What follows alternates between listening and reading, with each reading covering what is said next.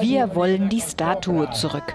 In Budapest hat es Proteste dagegen gegeben, dass ein Denkmal des Nationalhelden Imre Nagy an Weihnachten in einer Nacht- und Nebelaktion entfernt worden war. Der ehemalige ungarische Ministerpräsident Imre Nagy ist eigentlich ein Held des Aufstandes von 1956.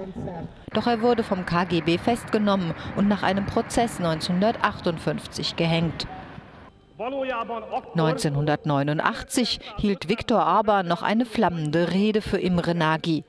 Heute sagen die Gegner des Regierungschefs, Orban habe nur den guten Ruf Nagys zum Start seiner politischen Karriere genutzt. Die Enkelin des Volkshelden Imre Nagy nahm am Freitagabend an der Protestveranstaltung teil. Sie erklärte, das ist typisch für das, was die Regierung zuletzt gemacht hat, die Statue am frühen Morgen wegzuräumen.